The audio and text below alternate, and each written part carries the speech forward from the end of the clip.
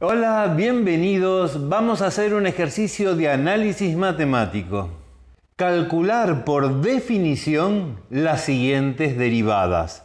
A. La función de x es 3x más 4. B.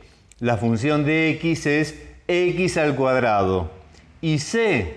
La función de x es 1 sobre x. Bien, Vos tenés que calcular tus derivadas aplicando las reglas de derivación.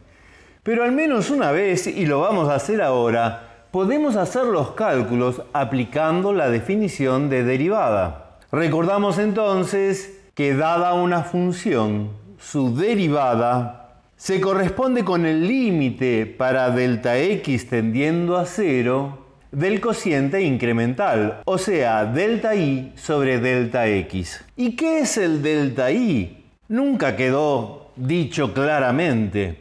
Es la diferencia entre dos valores de la función. La función en el valor x más delta x menos la función en x. Bueno, vas a ver que aplicando la definición llegamos a los mismos resultados que predicen las reglas de la derivación. El ítem A nos propone una función igual a 3x más 4. Se trata de una función polinómica, en este caso un binomio. El segundo término es una constante, su derivada vale 0. Y el primer término es 3x, su derivada es 3 la derivada nos tiene que dar igual a 3. Bueno, vamos a hacer la derivación por definición. Entonces la función derivada será igual al límite para x tendiendo a 0 de...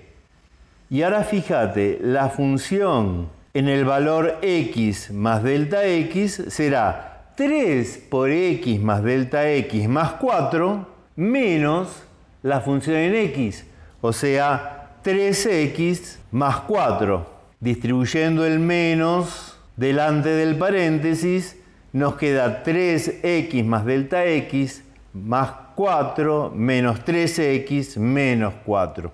Todo sobre delta x. Ahora podemos distribuir el 3 que multiplica delante del paréntesis. Entonces nos queda límite para delta x tendiendo a 0 de, el 4 ya lo cancelé, 3x más 3 delta x menos 3x. Ahora podemos cancelar los 3x que aparecen sumando y restando. ¿Qué me queda? Que eso es igual al límite para delta x tendiendo a 0 de 3 delta x sobre delta x. Podemos cancelar ese delta x que aparece en el numerador y en el denominador porque no valen 0 son infinitésimos. ¿Qué me queda? El límite para delta x tendiendo a 0 de 3, de donde la derivada pedida vale 3, tal como habíamos previsto con las reglas de la derivación. Pasemos a la segunda función. Ahora la función es x al cuadrado. Según las reglas de la derivación, se trata de una simple función potencial el 2 pasa multiplicando y la potencia en la derivada es 2 menos 1, 1. x a la 1 es x. Entonces nuestro resultado tiene que ser igual a 2x. Veamos qué ocurre cuando resolvemos la derivada por definición. Entonces la función derivada va a ser igual al límite para delta x tendiendo a 0 de x más delta x, todo eso al cuadrado, esa es la función incrementada en el delta x, menos x cuadrado, todo dividido delta x. Fíjate que en el numerador nos quedó el cuadrado de un binomio. ¿Te acordás cómo se resuelve eso?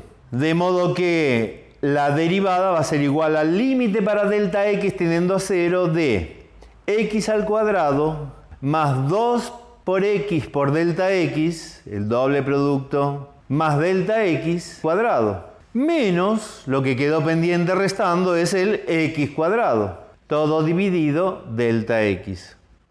El x al cuadrado aparece sumando y restando. Lo cancelamos. ¿Qué nos queda? Que la derivada es igual al límite para delta x tendiendo a cero de 2x por delta x más delta x al cuadrado dividido delta x.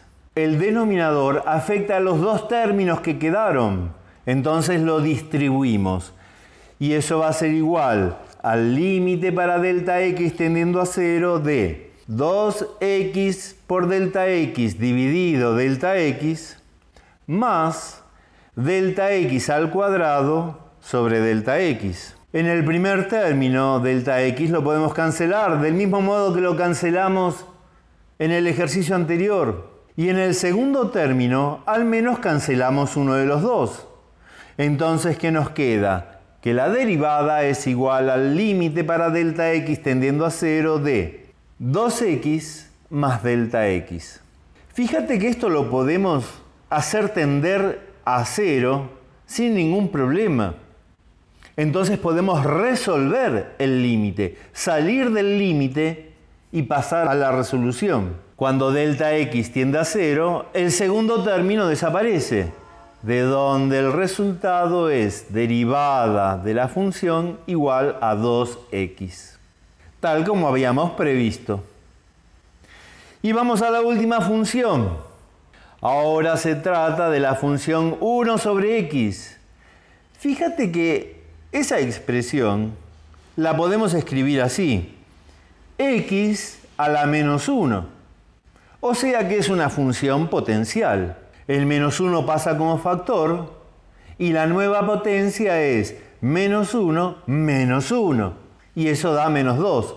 Así que la derivada nos debería resultar menos x a la menos 2, o lo que es lo mismo, menos 1 sobre x al cuadrado. Vamos a hacer la resolución por definición. Entonces la función derivada será igual al límite para delta x tendiendo a 0 de 1 sobre x más delta x. Esa es la función en el x incrementado. Menos 1 sobre x. Esa es la función en el valor x. Todo dividido delta x. En el numerador tenemos una resta de fracciones. ¿Te acordás cómo se hacía la resta de fracciones?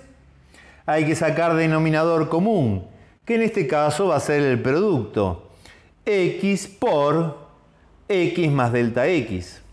En el primer numerador es eso dividido x más delta x por 1 es x.